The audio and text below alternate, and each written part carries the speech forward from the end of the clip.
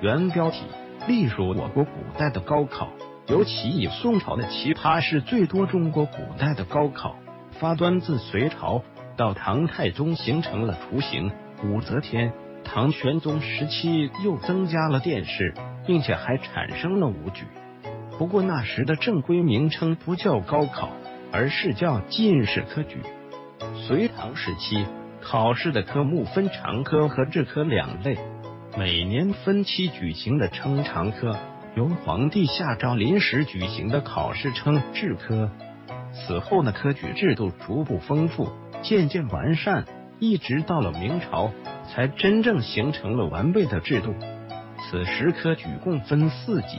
院士及同生试、乡试、会试和殿试，考试内容基本是儒家经义，以四书文句为题，规定文章格式为八股文，解释必须以朱熹四书题注为准。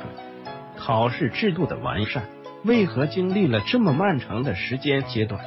因为这也是一项大规模的国家行动，所以牵扯到有关的各个方面。考生和主考官就像现代的警察与小偷，一直进行着智力的较量。考生为了取得功名，各种投机取巧的手段层出不穷；主考官则为了保证考试结果。